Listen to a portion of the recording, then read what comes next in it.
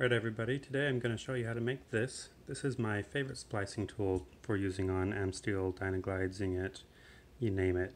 It is a simple wire that has bent into a loop. This bend is not a sharp bend, it's got some curvature to it so it doesn't just uh, jab the individual strands. What makes it magical is this plastic handle here which I actually made myself. Very easy to make, that's what I'm going to show you how to make. I make it out of this steel wire, pretty thin diameter. It's picture hanging wire. You can get it at any hardware store for a couple of bucks. The wire, I start out with, I don't know, maybe two feet of wire. I'm just gonna bend it in half. And again, don't want to make a, a sharp crimp at the end there. I want to leave it with some curvature.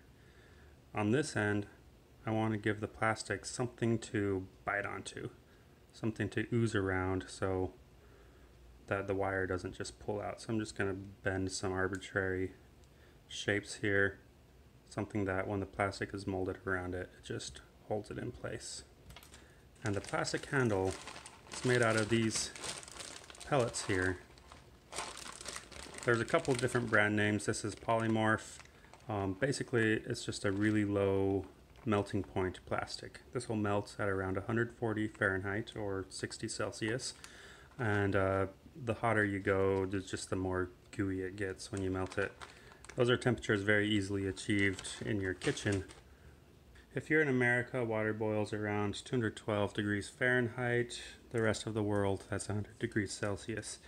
Either way, it's plenty hot to melt the polymorph. I'm going to take my one ounce of polymorph. This is going to be actually kind of a big handle. I'm just going to dump it in the water. And you'll notice pretty soon here that the pellets are going to start turning a clear color.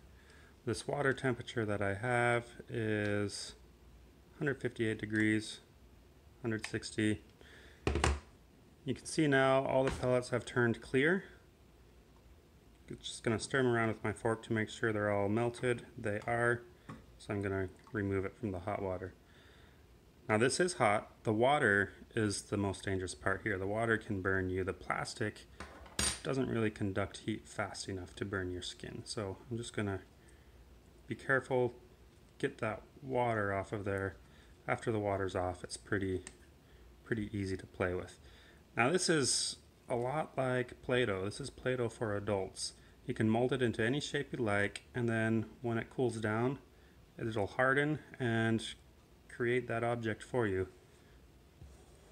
So I'm going to take my wire, I've bent those loops on the end to hold the plastic in place. And I'm just going to stick it in there and mold it on. And that's basically all there is to it. You can take a little bit of time here to shape the plastic how you'd like I normally go with a T-handle, just the way that I hold my splicing tool like this. It, it's a pretty comfortable grip. I like to just squeeze it in my hand a little bit to, to give it a shape that my hand likes and then maybe smooth out the wrinkles a little bit. And there's a new splicing tool. Really simple, really easy to make. Um, pretty inexpensive too. Now as this cools, this will start to turn back to an opaque white color. It can take quite a while to cool after it's been formed into this solid mass.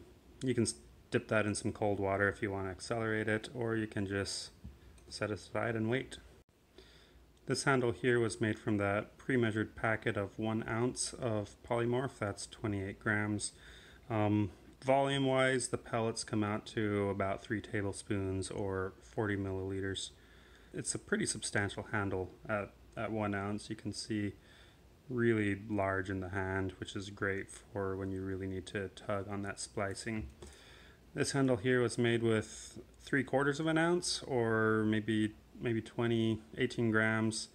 Um, a little bit smaller in the hand, but still still sufficient Another really cool thing about this plastic is that it is reusable. Um, all I'd have to do is dunk this back into the hot water and wait for it to melt. Because it is a big solid mass, it is going to take some time for that to melt.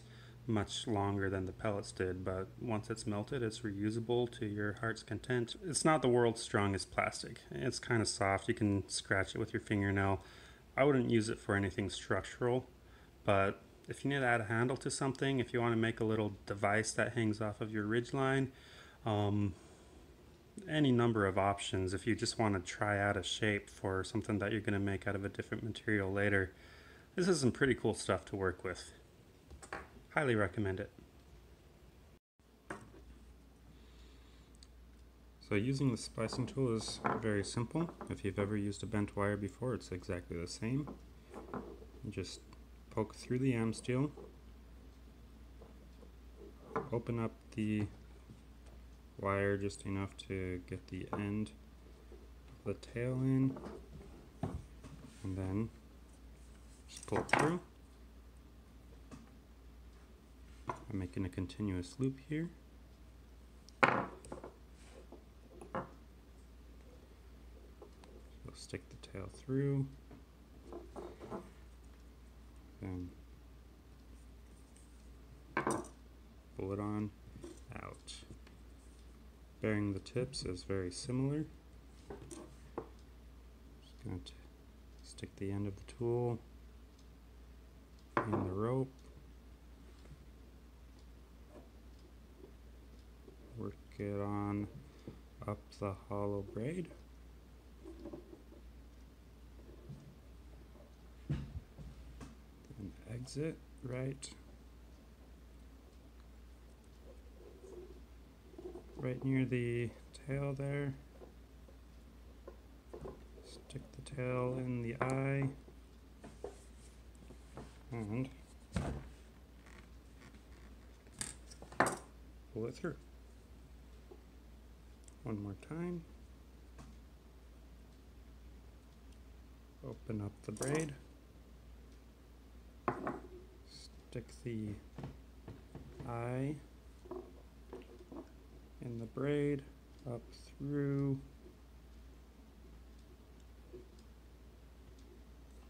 exit right near the tail grab the rope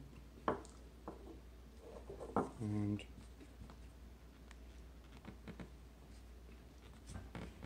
pull it through.